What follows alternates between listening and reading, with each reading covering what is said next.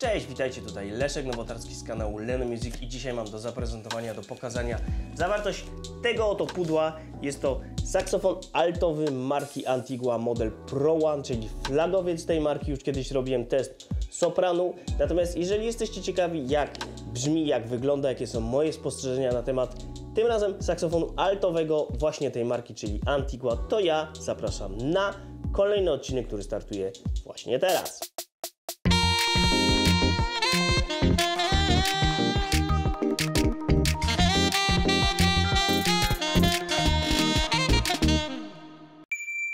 Może na początku dokonajmy unboxingu tegoż oto tutaj saksofonu i to jest paczuszka, która właśnie do mnie dotarła. Nie wiem co jest w środku, nie wiem czego się spodziewać, także może ja się odsunę, żeby było tutaj lepiej widać. I co my tu mamy? Wyciągamy zawartość styropiany, pudełko, czyli to co dostaniecie w sklepie. Myślę, że pudełko nikogo nie interesuje. Case od Antigły, ja bardzo lubię te case'y, ponieważ one są takie e, no, e, kompaktowe, nie jest to taka duża skrzynka jak w przypadku tych nieszczęsnych Yamah. Ma opcję szelek, bo ja już miałem kiedyś na moim kanale test e, altu właśnie innego modelu Antigua, natomiast mnie się ten case bardzo podoba, jest twardy, sztywny. No to jest trochę kopia Proteka, którego mam do własnych celów, do własnego użytku. Tutaj możecie wyciągnąć sobie szelki, także jeżeli ktoś tego używa tak jak ja między innymi, to może sobie te szelki tutaj przypiąć.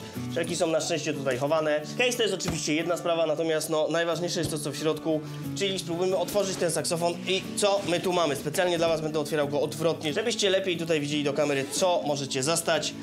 Ha! Saksofon, słuchajcie, przechodzi w takim pięknym woreczku. Nawet nie wiedziałem tego, że taki dokładnie e, tutaj otrzymam bonus. No, otwieramy go. I co my tu mamy? Kolor, nie wiem czy to tutaj widać, ale kolor jest no taki ciemnomiodowy. To nie jest e, typowy kolor e, dla saksofonów, to jest taki e, no tombakowy, ciemny, taki wpadający trochę w, w cegłę. No, pachnie jeszcze tymi wszystkimi tutaj narzędziami, które zostały użyte do tego, żeby ten saksofon powstał. Słuchajcie, ja mam model, który ma numer seryjny 171 046 Made in Taiwan, czyli to, co mówiłem już przy teście sopranu. Model ten jest robiony na Tajwanie, zresztą firma Antigua przeniosła całą produkcję na Tajwan. Kiedyś to była firma amerykańska, teraz ponoć właśnie z informacji, które ja uzyskałem od tutaj lokalnego dystrybutora, czyli od Jago Music, to jest e, produkcja tajwańska. Zacznijmy może od klap. Ostre kominki, natomiast wywinięte kominki są tylko w części tej, której mamy e, roztrąb, czyli w dolnej partii. Tu są tylko wywinięte, reszta są ostre kominki. Wszystkie tak, wszystkie. Ten saksofon jest bardzo wygodny. Ja już to kiedyś powiedziałem przy, ja już to kiedyś powiedziałem przy innej Antigle, natomiast ten saksofon jest bardzo wygodny. Antigły generalnie są bardzo wygodne. Perły, słuchajcie, płaskie, zupełnie ani nie wklęsłe, ani nie wypukłe. Na szczęście, bo wiecie, że ja bardzo nie lubię pereł wypukłych. Perły płaskie, e, no tu jest charakterystyczne dla tego saksofonu, e, ja może zbliżę tutaj, charakterystyczne dla tego saksofonu jest to, że te, e, nie wiem jak to nazwać, trzymaki, użyjmy takiego dziwnego sformułowania, trzymaki, te takie e, ramiona, które podtrzymują klapę są potrójne. To ponoć służy temu, aby e, no, ten saksofon, te klapy lepiej dociskały, żeby one się nie wyginały już po pewnym czasie. Te tutaj takie boczne ramiona, które są dodatkowe, powodują to, że ta klapa się nie deformuje. Czyli te potrójne ramiona są przy klapie B, przy klapie H, z tego co widzę, i przy klapie C. Tak to wygląda, przy klapie CIS nie ma. No saksofon, e, jak chodzi o wygląd, jest przepiękny. Zdobienia są wszędzie, nawet na korpusie. Tutaj są zdobienia, są kwiaty. Napis Pro One, saksofon Antigua. Oczywiście, ponieważ jest to saksofon zupełnie współczesny, więc mamy wszystko, co powinien posiadać współczesny saksofon, czyli górne FIS, przednie F. No niestety nie ma regulowanych y, tych y, klap górnych, tak jak to jest w Scalevertach. Widzę, że Peter Ponzor, który ponoć współpracuje przy tworzeniu tych projektów, no e, nie wiem, czy nie pozwolił, czy firma Antigua nie skorzystała z tego patentu. Słuchajcie, patent w Scalevertach moim zdaniem jest genialny, ponieważ tutaj na tych górnych klapach jest taka śrubka i można sobie te górne e, klapy, te, te D, DIS, E, można sobie pod siebie customować, czyli można sobie pod siebie tutaj e, to przykręcać, żeby, bo każdy ma inną długość ręki, żeby to nam się wygodnie grało. Także no niestety tu z tego nie skorzystano. Natomiast no jest, ja, który nie mam za wielkiej ręki, jest wygodnie. Jest wygodnie, tutaj nic mi nie przeszkadza. Saksofon jest wygodny, do wszystkich klap mam e, dobry dostęp. No, ja z Antiguami mam jeden problem, słuchajcie. Mianowicie to jest ten Big Bell, który no ponoć powoduje, że ten saksofon jeszcze lepiej brzmi. Natomiast z nim jest jeden zasadniczy problem, który mnie no może nie tyle przeszkadza, co musiałbym się do tego przyzwyczaić, mianowicie przez to, że ten Big Bell, ten, ten, ta czara jest taka wielka, ta czara jest w ogóle dość blisko tego saksofonu, blisko e, e, głównego korpusu. No ja w, w moim kelwercie też mam tako, ta, taką wielką czarę, natomiast no nie jest to tak blisko i tym samym do czego zmierzam? Zmierzam do tego, że grając dolne B, wychodząc na dźwięki górne sobie bez przerwy tutaj e, zahaczam. E, miałem to tak jak mówię już wcześniej przy teście tej Antigły modelu tego średnio zaawansowanego, którego miałem na moim kanale. Widzę, że tu jest dokładnie tak samo. Ja bym to jednak próbował trochę zmienić, bo ten piąty palec, jak wiecie, wykonuje na saksofonie dość e, tutaj dużą rolę i ma dość ciężką pracę. Natomiast no, to jest tutaj coś, co staje mu na drodze i no, szybkie przejście z klapy B w górnych no, powoduje, że musimy bardzo bliziutko tej klapy e, tutaj B się poruszać, ponieważ jakiekolwiek wychylenie tego piątego palca powoduje, że zahaczamy o ten rostrom, o ten wielki rostrom, który się nazywa właśnie tutaj Big Bell. To jest generalnie jedyna rzecz, którą ja się mogę tutaj przyczepić, co mnie w tych Antiguach nie pasuje. Reszta, no chodzi to idealnie, nic tutaj, wiadomo, jest to instrument dopiero co otworzony, więc nic tu, e, nic tu w nim nie klepie. Przejdźmy jeszcze do fajki, ponieważ nie odpakowaliśmy jeszcze fajki od tego saksofonu. Również zdobienia, wszędzie widzę, że to jest e, charakterystyczne dla e, Antik. Dużo jest zdobień i dużo jest tych wszystkich ornamentów. Także tak wygląda cały saksofon już odpakowany razem z fajką. Teraz może zatem przejdźmy do testu praktycznego, bo chyba to wszystkich najbardziej interesuje, jak ten saksofon brzmi, jak on gra. No ja nie będę go testował na tym, z czym on tu przychodzi, bo przypuszczam, że przychodzi z ustnikiem podstawowym, który się chyba nazywa Yamaha 4C. Mm, Cóż my tu mamy? Słuchajcie, tu jest jakaś dziwna rzecz, ja nie wiem co to jest. To jest jakiś taki e, sztyft. Nie wiem, zobaczymy. Co my tu jeszcze mamy? Pasek. E, tak, ustnik mamy. Tak, jest to Yamaha. Jest to Yamaha 4C. No ja nie będę tego testował na tym ustniku, bo ja ten, na tym ustniku nie potrafię zupełnie grać. Natomiast co jeszcze otrzymujemy? Szelki, szmatkę jedną oraz szmatkę drugą i smar do korków. Natomiast w dalszym ciągu nie wiem, co to jest ten sztyft firmy Antigua. Co to może być? Nic tu niestety nie jest napisane.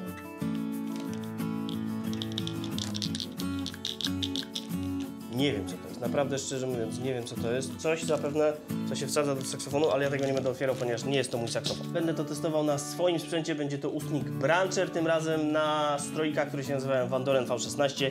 I teraz Wam prez- zaprezentuję kilka dźwięków na tym saksofonie, tak na sucho, bez akompaniamentu, a potem zobaczymy jak ten saksofon miksuje się już razem z sekcją rytmiczną w jakimś dowolnym nagraniu, które zamierzam zrobić. Zatem zapiąłem już ustnik i teraz zobaczmy, wydajemy pierwsze dźwięki z tego saksofonu, zobaczymy jak on brzmi.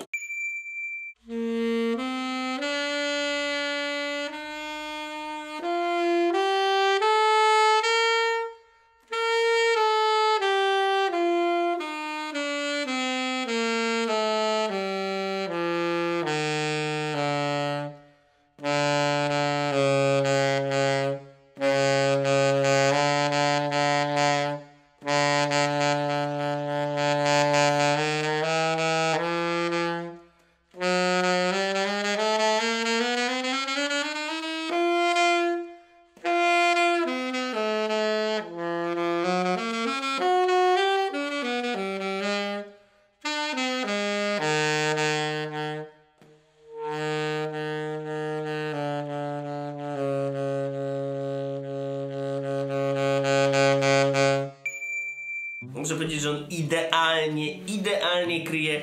Dawno, powiem szczerze, nie miałem tak kryjącego saksofonu w rękach. Nawet te nowe, które do mnie przychodzą, czasem są no, lekko gdzieś tam na dole e, to nie kryje, ponieważ no tak naprawdę czy saksofon kryje, to przede wszystkim właśnie trzeba sprawdzać na dole, ponieważ no, reszta dźwięków e, no oczywiście wymaga szczelności, ale nie stuprocentowej. Tutaj jest absolutnie idealnie, no nie mam żadnego problemu z wydobyciem dolnych dźwięków C, H i B, słyszycie, wchodzą jak masło. Teraz zagrajmy te najbardziej newralgiczne e, rejestry na saksofonie, czyli no średnica C, Cis i D, czyli to, co no, powoduje często, że nawet flagowce e, no, e, przegrywają niestety walkę, ponieważ Cis jest za wysokie, a D środkowe jest głuche. Także przekonajmy się teraz, jak właśnie to wygląda.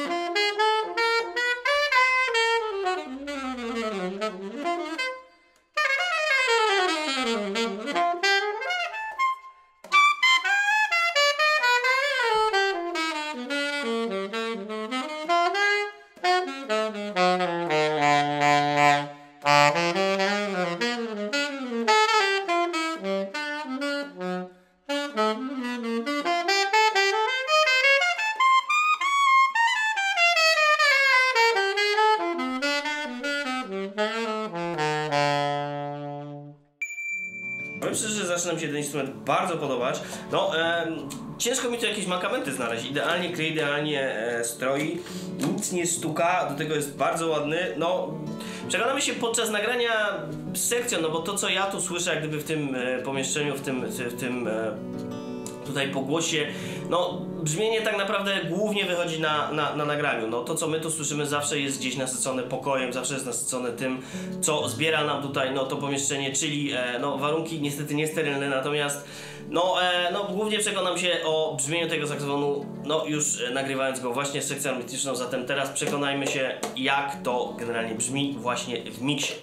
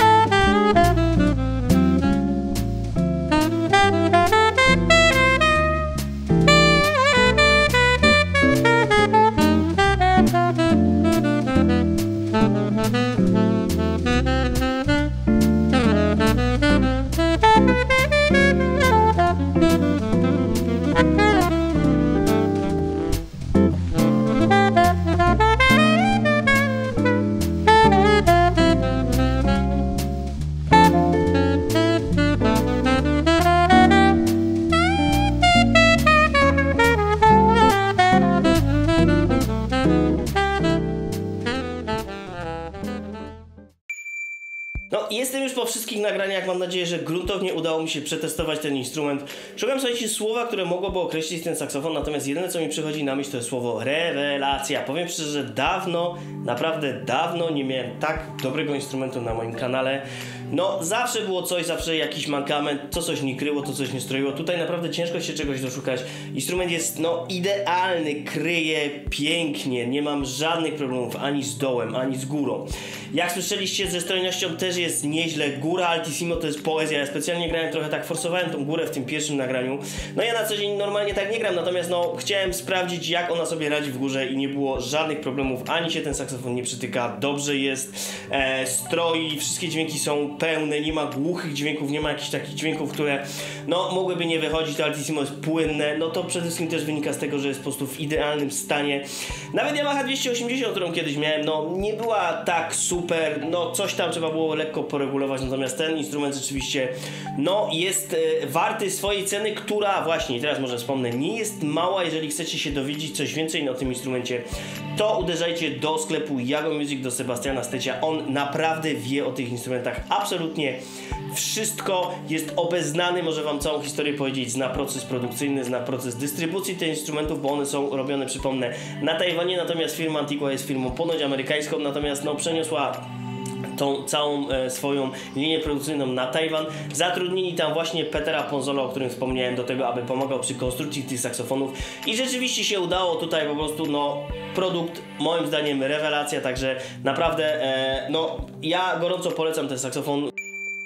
A co wy moi widzowie sądzicie o tych instrumentach? Może ktoś z was gra? Jak te instrumenty sprawują się po czasie? Jak z ich trwałością? Jak klapy? Czy no nie klepie po kilku latach używania? Jak z mechaniką? Bo to jest e, no problem wielu instrumentów, że na początku mogą grać bardzo dobrze, ale potem mechanika się szybko, e, szybko się zużywa. Także dajcie znać, jeżeli gracie na tym modelu, to jest przypomnę jeszcze Pro One, to jest najwyższy model Antigły. Może ktoś z was gra na tym instrumencie. Jak to się sprawuje po latach? Jak wam się podoba brzmienie tego instrumentu? No ja jestem zachwycony, ale być może no wam Mm-hmm. Być może macie inne zdanie. A ja nazywam się Leszek Nowotarski. Jeżeli tu trafiliście, to mam nadzieję, że wcześniej no, zapoznaliście się z moją twórczością, zapoznaliście się z moim kanałem. No co tu znajdziecie? Testy sprzętów dookoła saksofonowych. Saksofony, ustniki, cały sprzęt dookoła saksofonowy, mikrofony, też nawet czasem paski do saksofonu testuję. Także wszystko, co związane z saksofonem, to u mnie na kanale znajdziecie. Również jest e, szeroki dział edukacji muzycznej, głównie poświęconej e, nauce no, gry na saksofonie, ale także podejściu już bardziej praktycznemu, czyli nauka harmonii, nauka teorii muzyki, nauka improwizacji na saksofonie, bo do tego przecież głównie saksofon ostatnio jest używany, czyli właśnie improwizacja. Także jeżeli chcecie, to ja zapraszam do kontaktu ze mną w tej sprawie również.